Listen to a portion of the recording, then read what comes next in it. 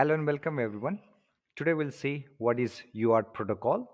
There are different communication buses and for that communication buses there are different communication protocols. For example, we have internal buses, SPI, I2C. For SPI bus, we have SPI protocol. I2C bus, we have I2C protocol. External buses, RS232, 422, 485, USB, Ethernet, for each of these buses, we have respective protocols.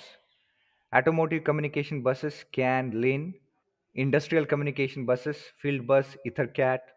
There are many devices which uses Zigbee, Bluetooth, Wi-Fi. Then we have display buses like HDMI. Now let us see what is UART protocol. So UART stand for Universal Asynchronous Receiver Transmitter. UART is a serial communication protocol. There are two types of communication, serial communication and parallel communication. So here UART is a serial communication protocol and it is used for exchanging data between the two devices. It uses only two wires that is TXD and RXD. UART uses RS232 bus standard which specifies the signal voltages signal timing, signal function, and mechanical connectors used for transmitting and receiving serial data. This is the interfacing diagram for UART. So in UART communication, we need only two pins of controller that is TXD and RXD. TXD is output pin, serial transmit data pin and RXD is input pin, serial receive data pin.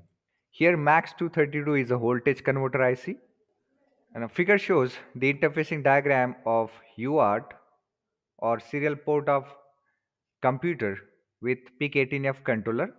Only two pins of controller are used that is TX and RX. Here MAX232 voltage converter IC. Two pins of computer used here TXD and RXD. So this is very simple interfacing diagram for UART communication. Now there are two types of data transfer. One is parallel data transfer, another is serial data transfer. In parallel data transfer, 8 bits of data is transferred at a time and in serial data transfer, 1 bit of data is transferred at a time.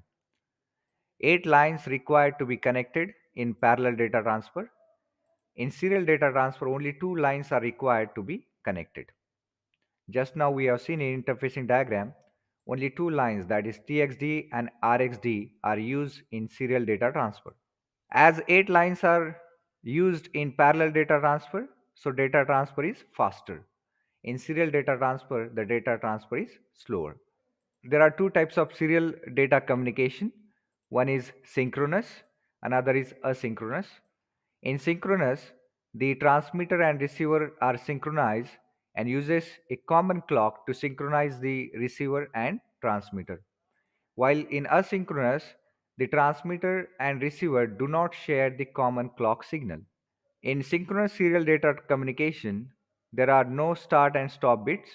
In asynchronous, uses start and stop bits. The figure shows RS232 connector DB9. So you can see here there are 9 pins Pin number 2 is received data RXD and pin number 3 is transmitted data TXD. So this is a very simple UART frame which consists of a start bit which is 0 followed by the actual data or data byte. It can be 5 or 8 bits. After that one parity bit and 1 or 2 stop bits.